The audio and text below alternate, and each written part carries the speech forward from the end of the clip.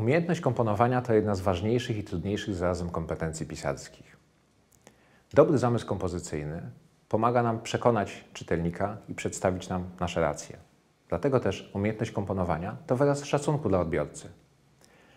Kompozycja jest ważna też dla samego autora. Jeśli dobrze przemyśli, co ma napisać, łatwiej będzie mu to zrobić, unikając błędów językowych. Z punktu widzenia egzaminatora, który przecież też jest czytelnikiem, dobry zamysł kompozycyjny pozwala ocenić umiejętność myślenia piszącego. W tym filmie przedstawimy jedynie niektóre dobre praktyki związane z umiejętnością komponowania tekstów. Przygotowując się do opracowania zamysłu kompozycyjnego, najpierw należy dokonać analizy tematu.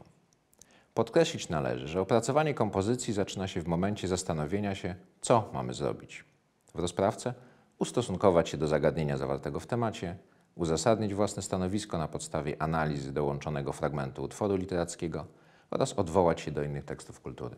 Nasze porady dotyczące komponowania zaczniemy od omówienia budowy akapitu. Akapit to najmniejsza wyróżniona graficznie jednostka tekstu zawierająca określoną myśl, różną od poruszanych w innych partiach wypowiedzi. Akapity są konieczną częścią tekstu. Oddają sposób myślenia autora poprzez to, jak segmentują swój wywód. Przede wszystkim należy pamiętać, że akapity wyodrębniamy na zasadzie znaczeniowej, to znaczy jeden akapit to jedna myśl. Rodzaje akapitów i ich budowę omówimy na przykładzie rozprawek z majowej matury z 2015 roku. Fragmenty tekstów pochodzą z prac maturzystów. Są to zatem wypowiedzi nieraz niedoskonałe, z błędami, ale pokazują one, że niektórzy autorzy stosują prezentowane tu zasady. Na planszy widzimy temat z majowej matury. Akapity dzielą się na dwa podstawowe rodzaje. Pominiemy tu mniej typowe odmiany charakterystyczne dla dłuższych wypowiedzi. Najczęściej stosuje się takie akapity, w których główna myśl przedstawiona jest na początku, następnie zostaje ona rozwinięta i zilustrowana. To tak zwany akapit analityczny. Taka budowa odpowiada też właściwej kompozycji wywodu argumentacyjnego. Argument, rozwinięcie, przykład. Na planszy mamy przykład typowego akapitu analitycznego. Główna myśl przedstawiona jest w pierwszym zdaniu, kolejne to jej rozwinięcie, dalej pojawia się ilustracja argumentu, a na końcu akapit zostaje spuentowany, a zarazem powtórzone zostaje stanowisko autora wobec polecenia. Innym rodzajem, wymagającym większej sprawności pisarskiej, jest akapit syntetyczny, w którym kolejność wywodu zostaje odwrócona. Najpierw pojawia się analiza przykładu, po której następuje synteza, wniosek wypływający z rozważań. Na planszy mamy przykład takiego akapitu. Autor prowadzi wywód tak, aby wniosek z analizy fragmentu króla Edypa pojawił się jako jego synteza, konkluzja, na końcu. Pojawia się tu nawiązanie do akapitu wcześniejszego, to słówko również. Autor także sprawnie przechodzi od analizy do uogólnienia, które pojawia się już w przedostatnim zdaniu akapitu, by na samym końcu sformułować już konkluzję.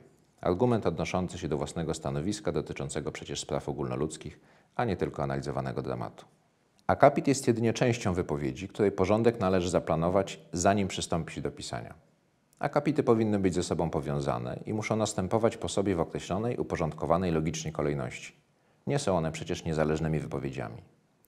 Powinny się ze sobą wiązać formalnie, za pomocą słów nawiązujących do wcześniejszych partii tekstu, pojawiających się w pierwszym zdaniu nowego akapitu, przykład również także, a przede wszystkim za pomocą przemyślanej, logicznej konstrukcji wywodu. To najtrudniejsza umiejętność, którą należy opanować, żeby nauczyć się dobrze pisać. Jeśli wiemy, że najważniejsza myśl akapitu wyrażana jest na jego początku lub na końcu, jak to bywa w większości przypadków, możemy szybko zapoznać się z tekstami nieliterackimi, przeskakując wzrokiem po początkach akapitów i po ich końcach. Dotyczy to tekstów zbudowanych poprawnie, a niestety nie zawsze tak jest. W utworach literackich bywa inaczej. Poza tym nie chodzi przecież w ich wypadku tylko o szybkie dotarcie do informacji. To też raczej nie warto stosować tej porady w odniesieniu do literatury. Kompozycji na szczęście nie trzeba wymyślać od podstaw, podobnie jak porządku argumentacji. Stosujemy zwykle dwa rodzaje schematów kompozycyjnych, czyli kolejności podejmowania zagadnień w taki sposób, aby czytelnikowi ułatwić odbiór. Przypomnijmy bowiem, zamysł kompozycyjny ma pomóc w czytaniu tekstu, a co za tym idzie, w skutecznym przedstawieniu naszego stanowiska. Najczęstszym rodzajem kompozycji jest kompozycja gradacyjna, oparta na stopniowaniu, czyli od szczegółu do ogółu, od konkretu do abstrakcji, od spraw przyziemnych po duchowe. Innym rodzajem jest kompozycja dialektyczna, argument, kontrargument i synteza, czyli próba pogodzenia przeciwieństw lub argument przeważający. Ten drugi rodzaj jest trudniejszy. Wymaga dobrego wyczucia siły argumentów i umiejętności argumentowania, tak aby odbiorca nie miał wrażenia, że autor sam sobie przeczy lub nie potrafi się zdecydować. Ten schemat odpowiada szczególnie tym wypowiedziom, w których piszący chce uniknąć jednoznacznego opowiadania się za konkretnym stanowiskiem, dostrzegając zalety i wady każdej tezy. Na planszy mamy przykład kompozycji gradacyjnej. Autor już na wstępie zasygnalizował, jaki jest porządek argumentów, czyli akapitów. Możemy się z takim porządkiem nie zgadzać, mając inne zdanie na ten temat, ale musimy zaakceptować propozycję autora, jeśli konsekwentnie ją realizuje.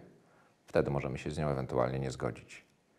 Tutaj maturzysta przyjął kolejność od argumentu najsłabszego do najmocniejszego. Na planszy mamy przykład kompozycji dialektycznej. Dobrze sprawdza się ona w wypadku rozważań niekoniecznie zmierzających do jednoznacznej konkluzji. Oczywiście można ją stosować także w wypadku jasno postawionego stanowiska, ponieważ warto w rozprawce przywołać także kontrargumenty, dzięki czemu możemy pokazać, że dostrzegamy złożoność problemu pojawiającego się w poleceniu. Autor zaprezentowanej tej rozprawki uważnie przygląda się lalce i Wokulskiemu. Warto zauważyć, że analizuje przytoczony fragment, dostrzegając, że wyraża on poglądy bohatera wynikające z jego sytuacji i obserwacji. To istotne, ponieważ należy pamiętać, że uzasadnienie stanowiska w rozprawce maturalnej powinno się opierać na analizie utworu. W zaprezentowanym układzie autor dość dobrze stara się wyważyć argumenty przemawiające zarówno za wolną wolą, jak i siłami niezależnymi od człowieka. Oczywiście przedstawione powyżej schematy nie są jedynymi możliwymi, nawet w rozprawce. Niezależnie czy zostanie zastosowany któryś z nich, zamysł kompozycyjny musi być widoczny, nawet jeśli wypowiedź rozwija się np. w formie rozważań. Przykład takiej kompozycji mamy na planszy. Nie ma tu stopniowania, ale rozwijanie refleksji. Nie jest to też klasyczny układ rozprawki czy innej formy pisemnej opartej na argumentowaniu. Niemniej wyraźnie widać tu zamysł kompozycyjny odpowiadający prowadzonym rozważaniom. Na końcu wstępu wyrażone zostaje stanowisko autora. Początek rozwinięcia pracy zaczyna się argumentem, następnie rozbudowanym i zilustrowanym analizą fragmentu utworu. Koniec pierwszego akapitu jest jego podsumowaniem wspierającym wyartykułowane we wstępie stanowisko. Następny akapit zbudowany jest podobnie, przy czym pojawia się nawiązanie do wcześniejszego wywodu. Niezbyt rozbudowane, to tylko jedno słowo, ale obecne, co warto podkreślić. Dzięki niemu mamy wrażenie, że autor prowadzi swoje rozważania w przemyślany sposób, nawet jeśli kolejne argumenty nie są prezentowane zgodnie z wyraźnym porządkiem, czyli np. gradacją. Na końcu tego akapitu także pojawia się podsumowanie i powtórzenie stanowiska autora. Kolejny akapit łączy się z poprzednim na tej samej zasadzie zbudowany jest także w równie klarowny i zrozumiały dla czytelnika sposób. Zakończenie to jednocześnie podsumowanie i przypomnienie użytych argumentów oraz sugestia, że są także inne. Wreszcie na końcu pojawia się puenta, niezbyt zgrabna, ale dobrze zamykająca wywód. Warto pamiętać, że powinno się nawiązywać w kolejnych akapitach do wcześniejszych. Oczywiście nie zawsze da się to zrobić, ale taką funkcję może pełnić pojedyncze słowo, takie jak również czy także. Można też zasygnalizować stopniowanie argumentów, zacząć zdanie w taki sposób. Ważniejszym argumentem od przywołanego w poprzednim akapicie jest. Można też przejść do kontrargumentu, zacząć zdanie tak. Jednak wolna wola nie zawsze decyduje. Przejdźmy teraz do krótkiego omówienia dwóch istotnych elementów każdej wypowiedzi, czyli wstępu i zakończenia. Jaką funkcję pełni wstęp? Przede wszystkim jest wprowadzeniem, zatem nie może pojawić się w nim zbyt wielu informacji, trudnych myśli. Powinien też być krótki. Ma to być nasze zaproszenie dla czytelnika, pozwalające mu nas poznać, oswoić się z naszym stylem i sposobem myślenia, wejść w sytuację odbiorcy naszej wypowiedzi. Po drugie, wstęp powinien stanowić formę przedstawienia się. Dlatego warto już na początku zaprezentować nasze rozumienie polecenia i wygłosić stanowisko wobec problemu, który pojawił się w temacie. Po trzecie, warto, aby wstęp również zapowiadał, co będzie dalej. Można więc nawet zasygnalizować, w jakiej kolejności będziemy przedstawiać argumenty lub utwory, do których się odwołamy. Oczywiście to nie jedyne funkcje wstępu, zresztą pomysły na rozpoczynanie wypowiedzi mogą być różne. Tu prezentujemy najbardziej typowe. Przedstawionym przed chwilą funkcją wstępu odpowiadać mogą kolejne zdania czy fragmenty tekstu składające się na ten element wypowiedzi. Inaczej mówiąc, możemy na jej podstawie podpowiedzieć, jak zaczynać własny tekst. We wstępie może pojawić się wytłumaczenie tematu i tytułu, tego jak rozumiemy polecenie, co jest dla nas w nim najważniejsze. To może być znalezienie synonimów. To zresztą istotna kwestia, bo stanowi element analizy tematu. Na początku pracy powinna też pojawić się prezentacja stanowiska lub tezy. We wstępie możemy również przedstawić kompozycję naszej wypowiedzi, czyli kolejności argumentów, przywoływanych utworów. Ułatwi to czytelnikowi poruszanie się po naszym tekście. Widoczny na planszy przykład wstępu, choć stylistycznie miejscami niezbyt zgrabny, pokazuje, że w krótkim wprowadzeniu można zawrzeć rozumienie polecenia, wyrażenie stanowiska oraz prezentację kolejności argumentów. Zakończenie, podobnie jak wstęp, nie może zawierać zbyt wielu istotnych informacji. Ma być raczej formą naszego pożegnania się z czytelnikiem, pozostawienia dobrego wrażenia i podsumowania naszych rozważań. W zakończeniu możemy wskazać inne nieomówione argumenty, możemy wyliczyć kontrargumenty, wskazać na inne teksty kultury, które mogłyby podeprzeć naszą argumentację. Możemy odwołać się do własnych doświadczeń, wreszcie zakończyć tekst błyskotliwą, metaforyczną lub patetyczną puentą. W widocznym na planszy przykładzie pojawia się kilka elementów, które mogą kończyć wypowiedź. Wyliczenie innych argumentów oraz kontrargumentu odwołującego się do własnego doświadczenia. Wreszcie rozprawkę kończy puenta będąca powtórzeniem stanowiska.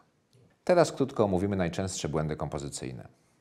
Najważniejszym jest brak zamysłu kompozycyjnego, czyli nie widać, aby autor zastanowił się nad porządkiem swojej wypowiedzi. Innym błędem jest podział tekstu na akapity bez wyraźnej zasady, bez czytelnego kryterium tematycznego. A przypomnijmy, każdy akapit to osobny temat. W wypadku takiego błędu mogą pojawiać się akapity na całą stronę. Wreszcie błędem jest brak wyraźnego zamysłu w zakresie podziału na akapity, co prowadzi często do niespójności tematycznej, czyli chaosu w pracy, powracania do niektórych wątków. Brak zamysłu kompozycyjnego to najczęstszy błąd. O nieprzemyślanej kompozycji świadczy najczęściej rozpoczynanie następujących po sobie partii pracy, czyli akapitów od wyrażenia kolejnym argumentem, następnym przykładem czy utworem jest. To duży błąd, bo świadczy o tym, że autor nie przyjął żadnej koncepcji kompozycyjnej. Nie ma pomysłu na porządek argumentacji, przez co praca powinna być w tym zakresie oceniona nisko. Brak nawiązań do wcześniejszych partii pracy to również usterka kompozycyjna. Wprawdzie nie zawsze udaje się nam zgrabnie nawiązać do poprzedniej części tekstu, ale jeśli w pracy nie ma żadnych nawiązań, a każdy akapit pojawia się zupełnie bez odniesień do tego, o czym była mowa wcześniej, stanowi to błąd. Zaprezentowany fragment może być przykładem wielu błędów różnego rodzaju. Tu skupimy się tylko na tych związanych z kompozycją. Przede wszystkim akapit nie jest związany z poleceniem. Nie ma tu mowy ani o wolnej woli, ani o siłach niezależnych od człowieka, a decydujących o jego losie. Taki akapit wskazuje na brak zamysłu kompozycyjnego pracy. Wypowiedź oparta została na wyliczeniu, a nie merytorycznie uzasadnionej kolejności argumentów. Akapit nie wyraża żadnej sprecyzowanej myśli. Zaczyna się od refleksji o losie niezależnym od woli człowieka, a kończy stwierdzeniem, że bohater utworu nie ma własnego zdania. Mamy tu zatem niespójność tematyczną. W tym akapicie nie pojawiają się nawiązania do wcześniejszych partii tekstu. Pojawia się tu jedynie wyliczenie. Mamy tu wdzięczny przykład błędów wszelkiego rodzaju.